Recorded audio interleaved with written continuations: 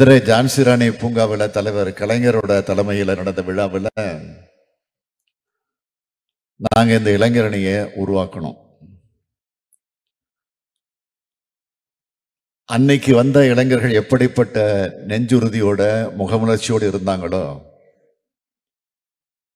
அந்த நெஞ்சுறுதியை அந்த மறு அந்த மலர்ச்சியை அந்த எழுச்சியை உங்ககிட்ட நான் பார்க்குறேன்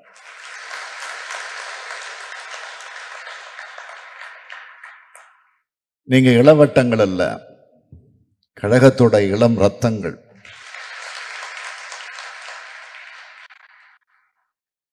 உங்களுக்கு பொறுப்புகள் வழங்கி கழகத்துக்கு புது ரத்தம் பாய்ச்சிருக்கக்கூடிய இளைஞரணியின் செயலாளர் தம்பி உதயநிதி அவர்களை நான் மனதார பாராட்டுகிறேன் வாழ்த்துகிறேன். மொத்தம் 72 ரெண்டு மாவட்ட கழகங்கள்ல இளைஞரணியின் சார்பில் மாவட்ட மாநகர் அமைப்பாளர்கள் துணை அமைப்பாளர்கள் என பொறுப்புகளை கேட்டு விண்ணப்பிச்சது நாலாயிரத்தி நூற்றி ஐம்பத்தெட்டு பேர்ல இருந்து உதயநிதி அவர்கள் அனைத்து நகரங்களிலிருந்து நேர்காணல் இன்டர்வியூ நடத்தி அதிலிருந்து அறுநூற்றி ஒன்பது இளைஞரணி பொறுப்புகளுக்கு பொறுப்பாளர்கள் இங்கு நியமிக்கப்பட்டிருக்கிறீங்க. இந்த பொறுப்பு ஏதோ சாதாரணமாக உங்களுக்கு கிடைச்சிடல. உங்க உழைப்புக்கு கிடைச்சிருக்கக்கூடிய அங்கீகாரம் இது.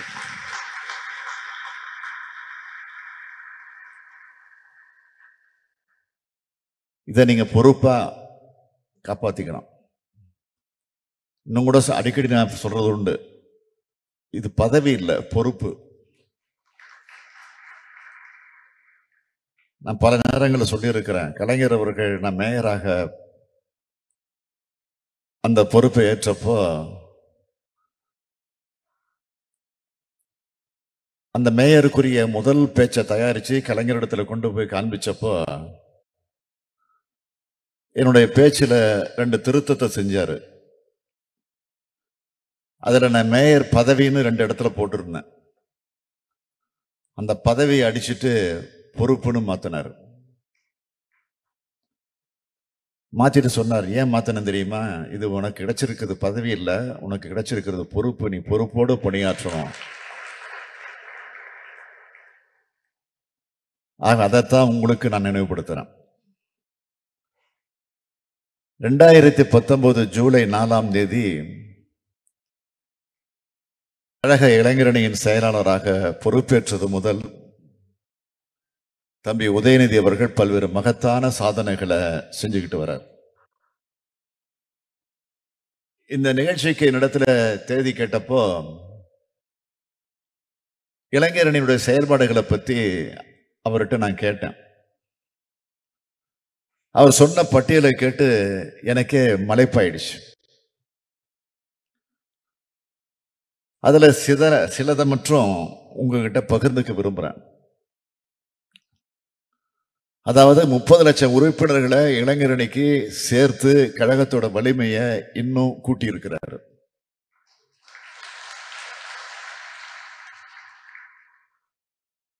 ரெண்டாயிரத்தி பத்தொன்பது எலெக்ஷனுக்கு முன்னாடியே ஊராட்சி சபை கூட்டங்களில் கலந்துகிட்டு இருக்கிறாரு. நாடாளுமன்ற தேர்தல் நேரத்தில் தமிழ்நாடு முழுக்க சுற்றி சுழன்று பிரச்சாரம் பண்ணியிருக்காரு. அவர் காட்டின ஒத்த செங்கல் உங்களுக்கு ஞாபகம் இருக்கும்னு நினைக்கிறேன். எப்படி மறக்க முடியும்? எதிரிகளே இப்போ மறக்க முடியல அதை. இன்னும் அதை நினைச்சு புலம்பிக்கிட்டு இருக்கிறாங்க. நீர்நிலைகளை வர்றது நம்ம ஏக்கத்து மேல இருக்கக்கூடிய காலங்காலமாக இருக்கக்கூடிய எதிரிகள் பரப்பக்கூடிய அவதூறுகளை முறியடிக்கக்கூடிய வகையில் பொய் பெட்டி நிகழ்ச்சின்னு ஒன்று நடத்தினது.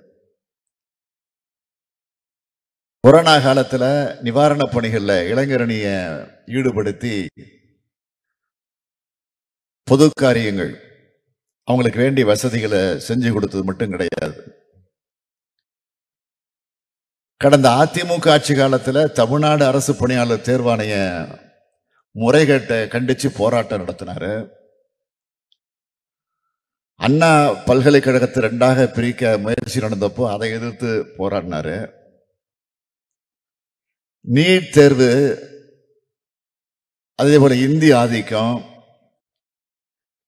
இது போன்ற அநீதிகளுக்கு எதிராக தம்பி உதயநிதியும் இளைஞரணியும் களமாடி இருக்காங்க. சட்டமன்ற தேர்தலுக்கு முன்னாடி கலைஞர் பிறந்த திருக்கோளை இல்லத்திலிருந்து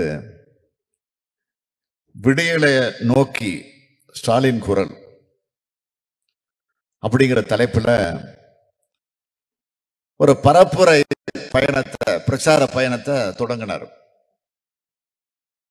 சேப்பாக்கம் திருவள்ளிக்கணியில் அவர் போட்டியிட்டாலும் மற்ற தொகுதிகளில் தான் அதிகமாக பிரச்சாரமே செஞ்சார் பரப்புரையே செஞ்சார்.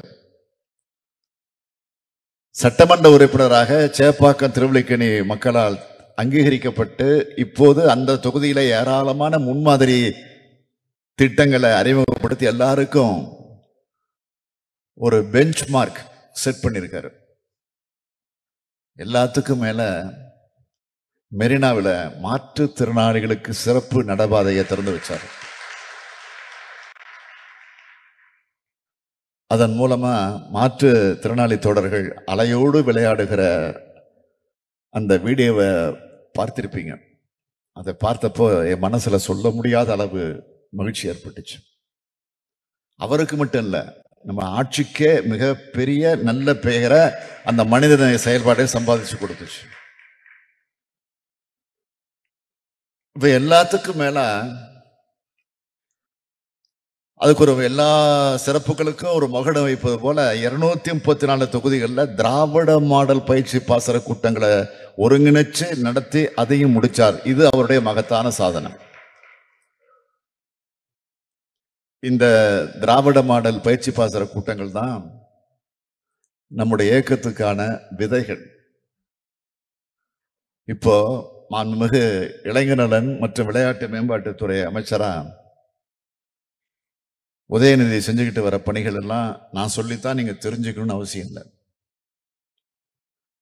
இப்படி கட்சி பணி ஆட்சி பணி ஆகிய ரெண்டையும் ஒரே நேரத்தில் மிக மிக சிறப்பாக செயல்பட்டு கழகத்துக்கும் ஆட்சிக்கும் நல்ல பேரை வாங்கி தராரு நம்முடைய மாண்புமிகு உதயநிதி அவர்கள்.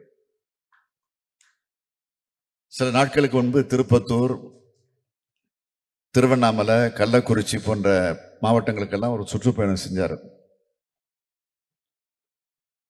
அது பற்றி விளக்கமாக விரிவாக நம்முடைய திருவண்ணாமலை மாவட்ட செயலாளர் மாண்புமிகு பொதுப்பணித்துறை அமைச்சர் வேலு அவர்கள் முரசொலி இல்லாத பற்றி ஒரு கட்டுரை எழுதியிருந்தார்.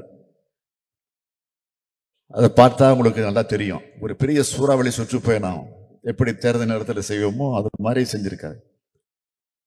இதை ஏன் நான் இங்கே குறிப்பிட்டு சொல்றேன்னா புதிய பொறுப்பாளர்களாக உங்களுக்கு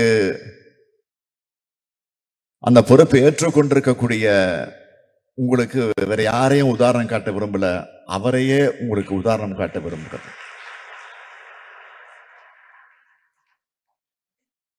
உதயநிதியே உங்களுக்கு ஒரு எடுத்துக்காட்டா இருக்கணும். நீங்க எல்லோருமே உதயநிதி மாதிரி செயல்படணும். அதுக்காகத்தான் இதை சொல்ல வந்தேன். உங்களை நேரில் பார்க்குற நான் அடையக்கூடிய உற்சாகம் அதை விட உங்கள் தீர்மானங்கள். நிறைவேற்றுகிறப்போ நான் மேடையில் இல்லை. இருந்தாலும் நேற்று இரவே இடத்துல அந்த தீர்மானங்கள் எல்லாம் நம்முடைய செயலாளர் இளைஞரணி செயலாளர் இடத்துல காட்டி அதுக்குரிய அனுமதியை அவர் பெற்றார். அதை பார்த்தப்போ எனக்கு பல மடங்கு கூடிடுச்சு. எனக்கு ஒரு நிம்மதி வந்துருச்சு இப்போ.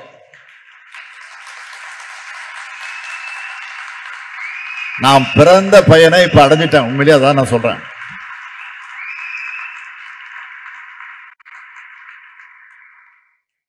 கழகத்தின் மேல ஆர்வத்தோடு இருக்கிற பதினஞ்சு முதல் முப்பத்தஞ்சு வயசு வரை இருக்கக்கூடிய இளைஞர்களை உறுப்பினர்களாக